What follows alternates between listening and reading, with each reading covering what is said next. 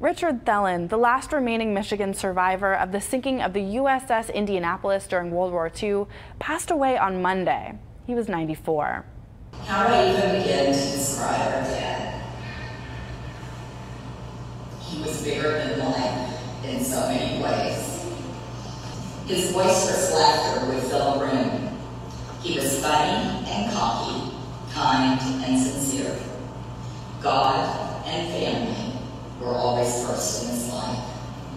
Thelen was laid to rest with military honors at St. Joseph Catholic Cemetery in Lansing Township on Saturday. Dad was an exalted servant.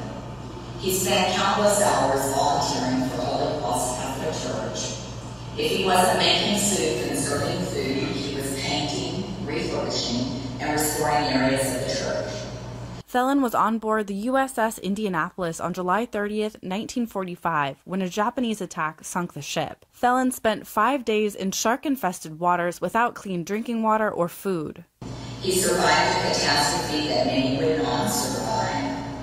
Then, in later years, he continued to serve by sharing his story and his survival, which he always credited God,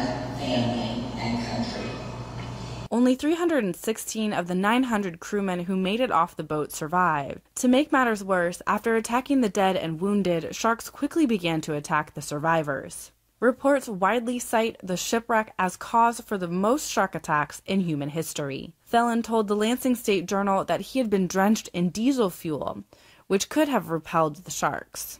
Every day was a gift to.